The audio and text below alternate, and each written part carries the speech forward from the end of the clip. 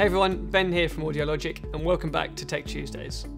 This week we're going to be taking a look at Microsoft Teams Rooms, what it is, how devices get certified, and some of the products we have available within our product range.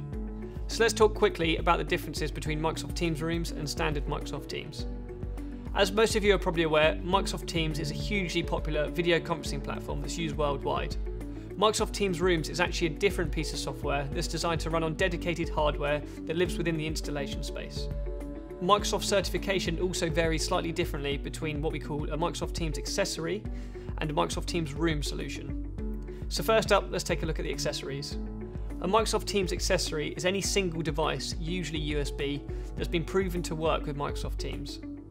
A certified Microsoft Teams Room solution is actually slightly different because this is going to be a whole ecosystem or bundle of products that has been proven to work together with Microsoft Teams Rooms. A key feature to this is that a certified solution will disable the inbuilt processing to the software codec. This means that you can use an external processor, something with much more power, such as a QSC Core or a Shure P300. So let's take a look at some of the products within our portfolio that are certified as a Teams Room accessory. So for Teams Room solutions, we've got a couple of options from Shure.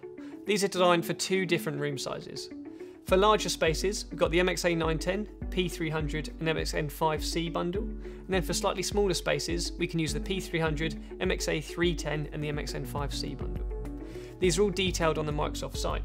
For QSC, they've bundled with Sennheiser to offer a full room package including microphones. This package is made up of the QSC Core 110F, the Sennheiser Team Connect Ceiling 2, and the acoustic design loudspeakers available from QSC. This also makes use of the SPA amplifiers and the NS1108 network switch. There's also availability within this to do an even bigger space using directional speakers, which are the columns available from QSC. It's worth noting that the entire range of acoustic design loudspeakers are actually Microsoft Teams certified, so you can mix and match across the range as you see fit. Next, let's talk quickly about control. So, as mentioned earlier, Microsoft Teams Rooms is going to be run on a dedicated PC, but you're going to need a touch control interface for that. Usually, these will be a USB based controller, something such as the Logitech Tap.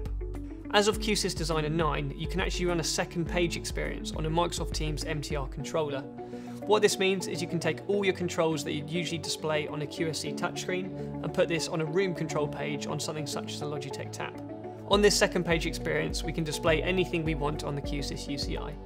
And using the new CSS file we've got, it's super, super easy to make it look as if it's a Microsoft Teams panel. This means for your end user, it's an incredibly consistent user interface, it's only one control interface, and also it's much easier to program. If you're using a fully certified room solution, then the product range is also supported by Microsoft. Obviously, we're here to help you design these solutions, whether it be a single product accessory or a full room deployment, but either way, you'll have our support on your Microsoft Teams Rooms design. For any queries related to Microsoft Teams, please do get in touch with myself or the team at support at audiologic.co.uk. If you could please give the video a like and subscribe to our YouTube channel, it'd be massively appreciated. As always, thanks for watching and we'll see you next time.